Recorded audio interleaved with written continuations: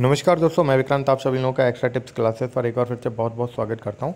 और इस वीडियो में हम लोग बात करेंगे दोस्तों यूपी ट्रिपल एस ने कुछ बड़े फैसले लिए हैं, चुनाव खत्म होने से पहले, उनको हम लोग इस वीडियो में देखेंगे।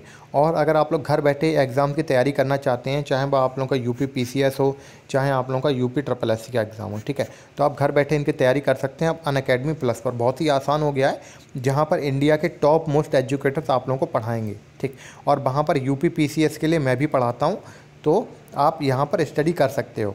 ठीक, ये हमारे सब्सक्रिप्शन प्लान्स हैं। अगर आप एक साल का लेना चाहते हो तो आपको पाँच सौ रुपये पर महीने के हिसाब से पेमेंट जो है वो छः हज़ार रुपये करना होगा। अगर आप मेरा रेफरल कोड यूज़ करते हैं, जो कि है ये बी वी एस विक्रांत तो आपको दस परसेंट जो पैसे हैं वो कम हो जाएँगे। तो ये जो पैक है छः हज़ार पर आप लोग दस परसेंट डिस्काउंट लगा देना तो उतना रुपये आपको पे करना होगा। ठीक है? तो इसके अलावा आप लोग डिफरेंट एग्ज़ाम्स की भी तैयारी कर सकते हो, जैसे एसएससी हुआ रेलवे हुआ बैंकिंग हुआ। तो वहाँ पर भी डिस्काउंट अगर चाहिए तो आप referral code B B S Vikrant use कर सकते हैं। ठीक है? ये बात होगी अन अकेडमी प्लस की।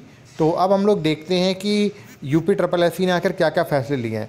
तो दोस्तों, ये बात बहुत पहले मैंने बता दी थी आप लोगों को। लगभग मेरा जो गैप है, वो एक महीने का हो चुका है क्योंकि मुझे मालूम था कि अभी मंडी परिषद की जो है डेट कंफर्म नहीं हुई है, इस वजह से मैंने वीडियो डालना भी बंद कर दिया था। और अन अकेडमी पर मैं पढ़ा रहा था।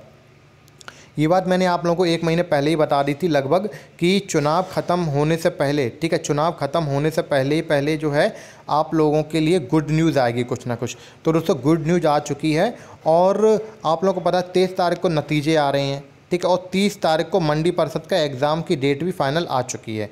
और जो लोग लोअर पीसीएस की भी बात कर रहे थे कि लोअर पीसीएस कब होगा तो मंडी परिषद के जस्ट बाद आप लोगों को लोअर पीसीएस की डेट भी जो है वो आ जाएगी। और अब जो सबसे बात आती है महत्वपूर्ण, जो कि आप लोगों की लेखपाल की भर्ती की है। तो लेखपाल की भर्ती की अगर हम बात करें तो लेखपाल की भर्ती पर भी फैसला लिया जा चुका है। और अब आप लोगों की जो लेखपाल की भर्ती है, राजस्व लेखपाल और चकबंदी लेखपाल इन दोनों को एक साथ में लेकर के आएँगे। कुल मिलाकर के अगर पदों की बात करें तो कुल मिलाकर के पैंतालीस सौ जो है पद रहेंगे, ठीक है? तो आप लोग बिल्कुल तैयार रहिएगा। आयोग ने कमर कस ली, अब आप लोगों की बारी है। ठीक, अभी सबसे जो पहले आप लोगों को एग्ज़ाम की प्रिपरेशन करनी है, वो है मंडी परिषद की। इसकी प्रिपरेशन के लिए मैंने बहुत सारे लेक्चर्स पहले ही मैंने बना दिए हैं, ठीक है? बहुत सारे लेक्चर्स बनाए हैं जो कि अन अकेडमी पर हैं और डिस्क्रिप्शन बॉक्स में उसका लिंक भी दिया हुआ है। ये आप देख सकते हो, यहाँ पर लिखा है लोअर पीसीएस, पर लोअर पीसीएस और ये मंडी परिषद दोनों एग्ज़ाम्स के लिए काफ़ी ज़्यादा उपयोगी होंगे। और बहुत सारे कैंडिडेट्स इसको देख करके जो है अपने रिव्यू और रेटिंग्स मुझे दे चुके हैं ऑलरेडी तो यहाँ पर बहुत सारे प्रैक्टिस सेट मैंने कराए हुए हैं और बहुत सारे क्वेश्चन हैं तो आप लोग इनको कर सकते हैं। और ये जनरल साइंस का क्रैश कोर्स है।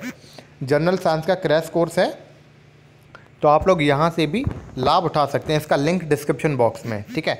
और इसके अलावा अगर आप हमारे व्हाट्सएप ग्रुप से जुड़ना चाहते हैं डेली की डेली इन्फॉर्मेशन के लिए तो ये नंबर है चौरानवे छप्पन अट्ठानवे दस सत्तानवे। तो यहाँ पर आप मुझे अपने नाम के साथ में मैसेज कर सकते हैं, ठीक है? तो चलिएगा, अब मिलते हैं नेक्स्ट वीडियो में, तब तक के लिए bye bye take care and thanks for watching my video